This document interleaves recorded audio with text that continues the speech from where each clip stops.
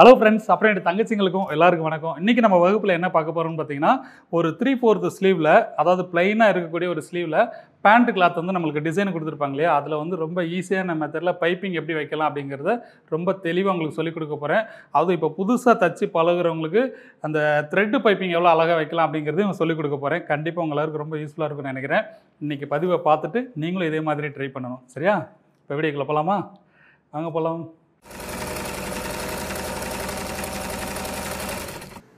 இப்போ இந்த three fourth ஸ்லீவில் simple மெத்தடில் நம்ம அந்த பைப்பிங் வைக்க போகிறோம் பார்த்தீங்கன்னா மெட்டீரியல் வந்து பிளைனாக இருக்குது.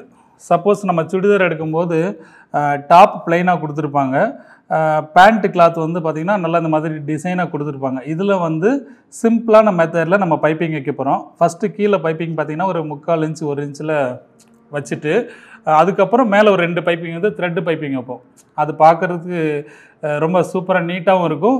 தைக்கிறதுக்கு ரொம்ப ஈஸியாகவும் இருக்கும். அதுதான் இப்போ நான் உங்களுக்கு சொல்லிக் கொடுக்க போகிறேன் ஃபஸ்ட்டு ஒரு ஸ்லீவ் நம்ம எடுத்துக்கிறோம். ஸ்லீவ் வந்து நான் எதுவுமே சைஸ் பண்ணல. அப்படியே தான் வச்சுருக்கிறேன். நம்ம இதை கம்ப்ளீட் பண்ணிவிட்டு அப்புறமாட்டி ஸ்லீவ் சைஸ் பண்ணிக்கலாம். இதில் பார்த்தீங்கன்னா இது வந்து நல்லா ஸ்ட்ரைட்டில் எடுத்துக்கோங்க. ஒரு மூணு இன்ச் இருந்தாலே போதும். நம்மளுக்கு எந்த அளவுக்கு பட்டையாக வேணுமோ அதுக்கேற்ற மாதிரி டபுளாக எடுத்துக்கோங்க. ப்ளஸ் நம்ம த அட்டாச் பண்ணுறதுக்கு ஒரு ஆஃப் இன்ச் இருக்கிற மாதிரி. இது என்ன பண்ணுறேன்னா ரெண்டாக மடிச்சுட்டு நமக்கு எவ்வளோ அகலம் வேணுமோ உங்களுக்கு எவ்வளோ பட்டையாக வேணுமோ அதை மாதிரி வச்சுக்கோங்க.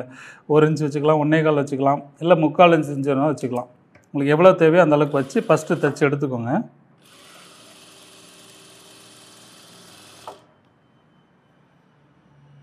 இது ரொம்ப ஈஸியாக இருக்கும். யார் வேணாலும் தைச்சிக்கலாம்.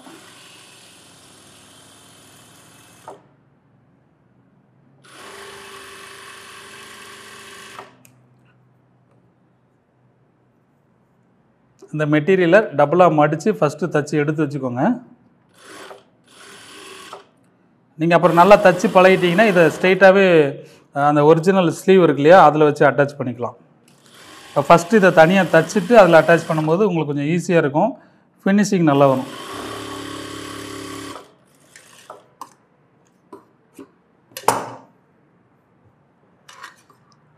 இல்லை நமக்கு அட்டாச் பண்ணுறதுக்கு ஒரு கால் இன்ச் இருந்தால் போதும். மீதியை வெட்டி விட்டுறேன்.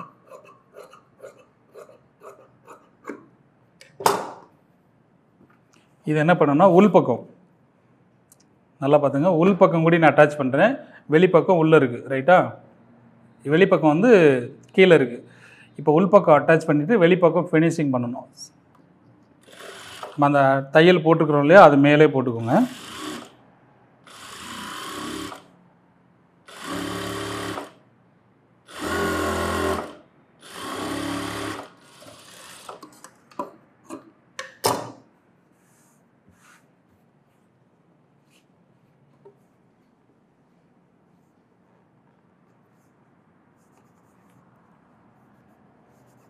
இதில் பார்த்தீங்கன்னா நம்ம அந்த ஸ்லீவ் மெட்டீரியல் இருக்கு இல்லையா அந்த பிளெயின் மெட்டீரியல் பார்த்து லைட்டாக மைல்டாக பைப்பிங் வேணும்னா இந்த மாதிரி லைட்டாக மைல்டாக வச்சுட்டிங்கன்னா பார்க்குறது நல்லா நீட்டாக இருக்கும். அது உங்களுக்கு தேவைன்னா வச்சுக்கோங்க. சப்போஸ் அந்த கலர் டிஃப்ரெண்ட்டாக தெரிஞ்சிச்சுன்னா அந்த உள்பக்கம் வந்து டிஃப்ரெண்ட்டாக தெரிஞ்சிச்சுன்னா அது வேண்டியதில்லை. நல்லா கீறிக்கோங்க. காட்டன் மெட்டீரியல் இருந்தால் இன்னும் நல்லா படிஞ்சுக்கிறோம்.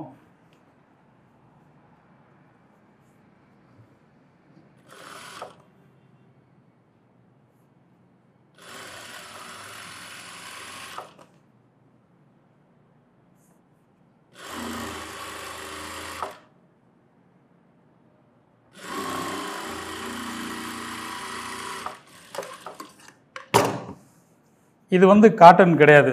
அப்படி இருக்கும்போது என்ன பண்ணணும்னா இன்னொரு தையில் வந்து இந்த நம்ம டிசைன் பீஸ் இருக்கு இல்லையா அதில் படி அதில் போடக்கூடாது. அதில் போட்டோம்னா நம்ம மேலே ப பதிச்சது மாதிரி ஆகிடும் அதில் தையல் இல்லாமல் அந்த சென்டரில் போட்டுக்கோங்க.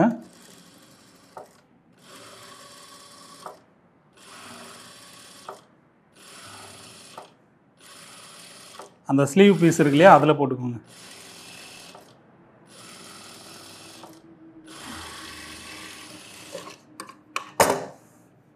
ஆக மொத்தம் இதில் தையல் தெரியக்கூடாது.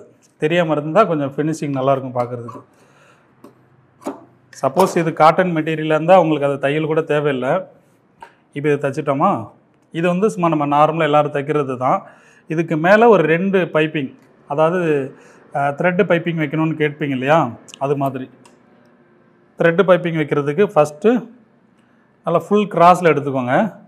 நமக்கு ஒரு இன்ச்சு அகலம் இருந்தாலே போதும். அது நீங்கள் நல்லா ட்ரைனிங் ஆனதுக்கப்புறம் எடுத்துக்கலாம். அது வரைக்கும் ஒரு ஒன்றரை இன்ச்சு அகலத்துக்கு எடுத்துக்கிட்டு த்ரெட் எடுத்துக்கோங்க. அதுக்கு முன்னாடி கைடு வந்து சிங்கிள் கைடு மாற்றிக்கணும் இதாக இருக்கு இல்லையா? இந்த சிங்கிள் கைடு மாற்றிக்கிட்டிங்கன்னா தான் அந்த த்ரெட் பைப்பிங் தைக்கிறதுக்கு ஈஸியாக இருக்கும். கைடை மாற்றிடுவோம்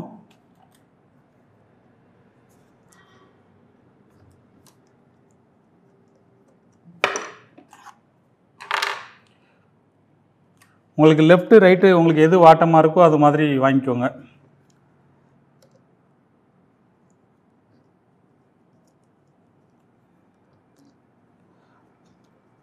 இல்லை ஒரு கைடு வச்சு நான் ரெண்டு பக்கம் தச்சிருவேன்னு சொல்கிறவங்க ஒன்றும் பிரச்சனை இல்லை.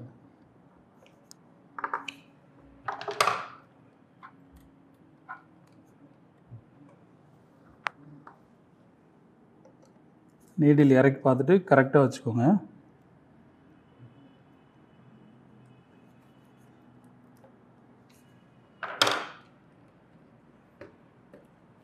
இப்போ என்ன பண்ணால் த்ரெட் எடுத்துக்கிட்டோமா?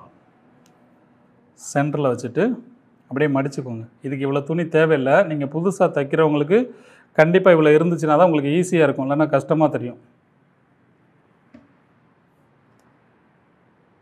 அந்த த்ரெட்டில் ஃபஸ்ட்டு குறுக்கில் ஒரு தையல் போட்டுக்கோங்க.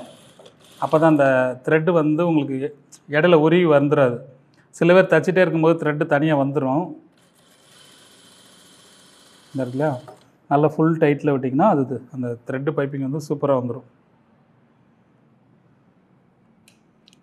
த்ரெட்டு நல்லா ஓரத்தில் வச்சுக்கோங்க. அந்த கைடில் நம்ம விடும்போதே பார்த்தீங்கன்னா இங்கே ஒரு கை வச்சுட்டு இப்படி கிராஸில் விட்டோம்னா அந்த எட்ஜில் போய் தையல் விழுவும் அப்போ நம்மளுக்கு வந்து ஃபுல் டைட்டில் கிடைக்கும். லூஸ் வராது.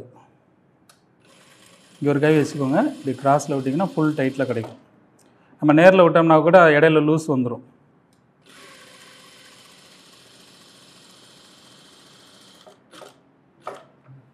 முடிக்கும் போது லைட்டாக ஒரு தையல் போட்டுட்டு எடுத்துக்கணும்.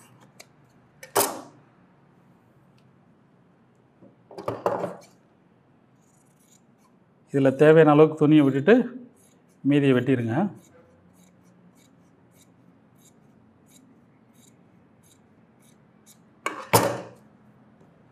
இந்த ஸ்லீவ் இருக்கு இல்லையா? உங்களுக்கு எவ்வளோ தூரத்துக்கு வேணுமோ இப்போ இது ஒரு ஒரு பட்டி வந்து நல்லா அகலமாக வச்சுருக்குறோம். அதுக்கு அடுத்தது ஒரு ஒரு இன்ச்சில் வச்சுக்கலாம். இல்லை கொஞ்சம் தள்ளி ஒரு ரெண்டு இன்ச்சு தள்ளி வச்சுக்கலாம். இல்லை நெருக்கமாக வைக்கனாலும் வச்சுக்கலாம். உங்களுக்கு எப்படி பிடிக்குதோ வச்சுக்கோங்க. நான் ஒரு பொதுவாக ஒரு ரெண்டு இன்ச்சு தள்ளி நான் வைக்கிறேன். வச்சு ஒரு கோடு போட்டுட்டு தையல் போட்டுக்கோங்க. இல்லை உங்களால் நான் அந்த ஸ்டெயிட் ஃபாலோ பண்ண முடிஞ்சுன்னா அப்படியே வச்சு தைச்சிக்கோங்க.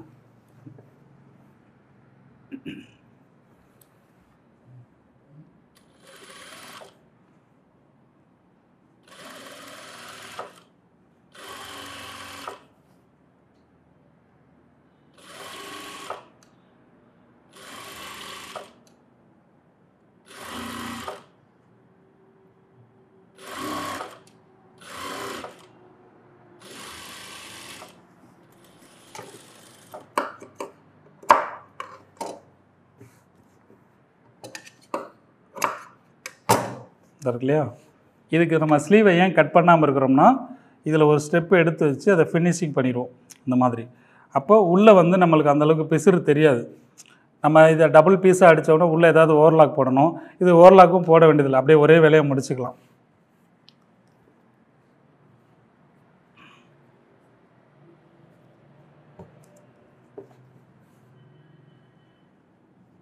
மேலே எடுத்து இதா இருக்கு இல்லையா? இந்த ஓரத்தில் வச்சோம்னா எஜ்ஜு தையல் போட்டுக்கலாம். இல்லை எனக்கு தையலே தெரியாமல் இருக்கணும் அப்படின்னு நினச்சோம்னா அது இன்னும் நல்லாயிருக்கும். தையல் தெரியாமல் இருக்கிறதுக்கு என்ன பண்ணணும்? அப்படியே இந்த பக்கம் எடுத்து விட்டுட்டு இந்த இருக்கு இல்லையா? உள்ளே நம்ம தையல் போட்டிருக்கிறோம் இல்லையா? பிசுறு எவ்வளோ தூரம் இருக்குதுன்னு நம்மளுக்கு தெரியும். இல்லை அந்த பிசுறு உங்களுக்கு அதிகமாக இருந்துச்சுன்னா வெட்டிக்கோங்க.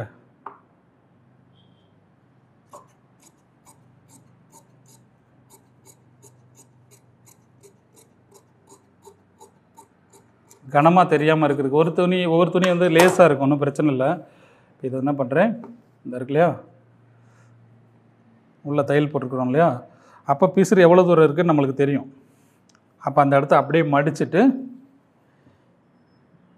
அந்த த்ரெட்டு எங்கே இருக்குங்கிறது நம்மளுக்கு தெரியும்.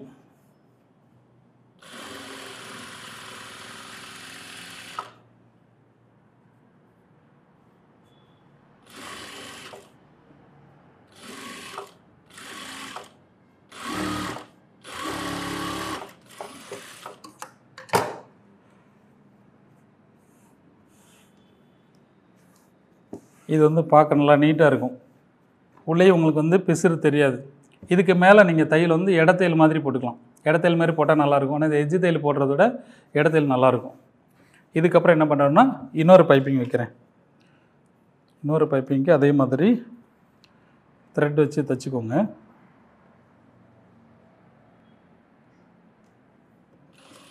இது வந்து நம்ம யார் வேணாலும் தைக்கலாம். இப்போ புதுசாக தைச்சி பழகுறீங்க இல்லையா?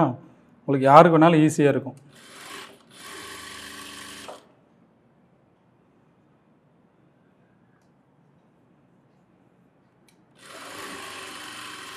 இது பிளாக்கு மெரூன் அப்படிங்கிறதுனால நல்லா இருக்குது ஆனால் இன்னொரு ஒரு சில கலர் பார்த்திங்கன்னா ஆப்போசிட் கலராக இருக்கும் இல்லையா? அதுக்கு பார்த்தீங்கன்னா இன்னும் சூப்பராக இருக்கும்.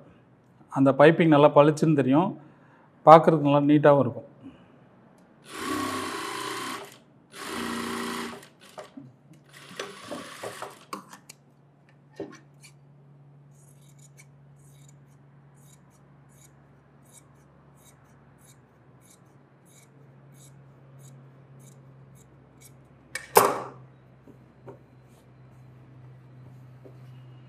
எவ்வளோ தூரம் அட்டாச் பண்ணீங்களோ அதே கேப் இல்லைன்னா இதை விட இன்னும் கொஞ்சம் தள்ளி பண்ணணும். ஆனால் ஒவ்வொருக்கும் ஒரு அளவு இருக்கும் இல்லையா? இது ஒரு ஒன்று ஒன்றரை இன்ச் தான் மேலே ரெண்டு இன்ச் வேணும். அந்த மாதிரி ஒரு ஐடியா இருந்துச்சுன்னா அந்த மாதிரி கூட பண்ணிக்கோங்க. அதை எப்படி அட்டாச் பண்ணணும்னு அதே மாதிரி இதையும் தைக்கிறேன். அளவு வந்து மார்க் பண்ணிக்கோங்க. நான் மார்க் பண்ணாமல் தான் தைக்கிறேன். நீங்கள் ஒரே ஸ்டெயிட் வேணால் லைட்டாக மார்க் பண்ணிக்கோங்க.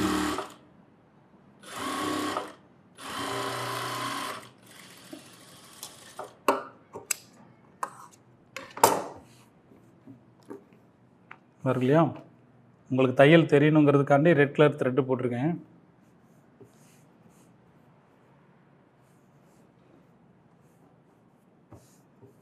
அந்த பக்கம் போட்டிங்களா அதே மாதிரி தான்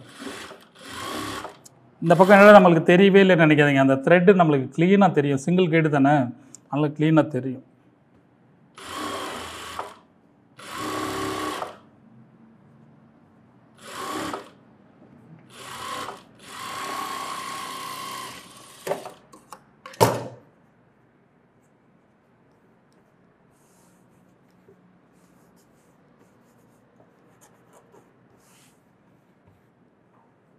அவ்வளோதான் இதில் உள்ளக்கூடிய தையல் போட்டுக்கோங்க. இல்லை எனக்கு தையல் தெரியாமல் இருக்கும்னா அந்த தையலும் போட வேண்டாம். நம்ம எடுக்கிறோம் இல்லையா? ஸ்லீவ் எடுக்கிறோம் இல்லையா? இப்போ த்ரீ ஃபோர்த் வந்து பதினாறு இன்ச்சு இருக்குதுன்னா ஒரு எக்ஸ்ட்ரா ஒரு ரெண்டு இன்ச்சு சேர்த்துக்கோங்க. ஏன்னா இங்கே நம்ம மைனஸ் ஆகிடும் இந்த ரெண்டு பைப்பிங் வைக்கும்போது மைனஸ் ஆகிடும் இல்லையா? அதுக்கப்புறம் அதுக்கப்புறம் நீங்கள் ஸ்லீவ் சைஸ் பண்ணிக்கலாம். இப்போ உங்களுக்காக ஒரே ஒரு ஸ்லீவ் மட்டும் நான் தச்சுருக்கேன்.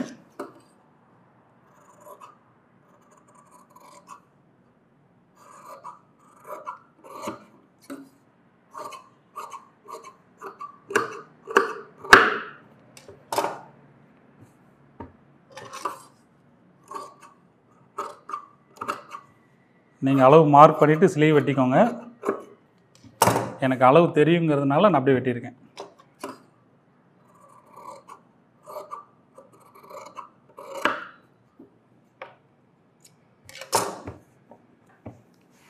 ரொம்ப சிம்பிளான மெத்தடில் இந்த ஸ்லீவ் உங்களுக்கு தச்சு காமிச்சிருக்கேன். இதே மெத்தடில் நீங்களும் ட்ரை பண்ணி பாருங்கள் பார்த்துட்டு எனக்கு கமெண்ட் பண்ணுங்கள் இது ஆப்போசிட் கலராக இருந்துச்சுன்னா இன்னும் சூப்பராக இருக்கும்.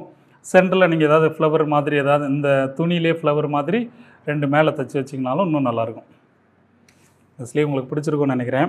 நீங்களும் ட்ரை பண்ணி பாருங்கள் இன்றைக்கி ஒரு பிளைன் ஸ்லீவில் பைப்பிங் எவ்வளோ ஈஸியாக தைக்கலாம் அப்படிங்கிறத உங்களுக்கு ரொம்ப தெளிவாக சொல்லி கொடுத்துருக்குறேன். அது மட்டும் இல்லாமல் த்ரெட்டு பைப்பிங் எவ்வளோ அழகாக வைக்கலாம் அப்படிங்கிறது சொல்லி கொடுத்துருப்பேன். கண்டிப்பாக உங்க எல்லாருக்கும் யூஸ்ஃபுல்லாக இருக்கும்னு நினைக்கிறேன்.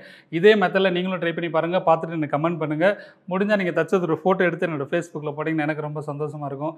அடுத்த பதிவில் உங்களோட தேவையில் பூர்த்தி செய்ய வேண்டியது என்னோட கடமை. பாய்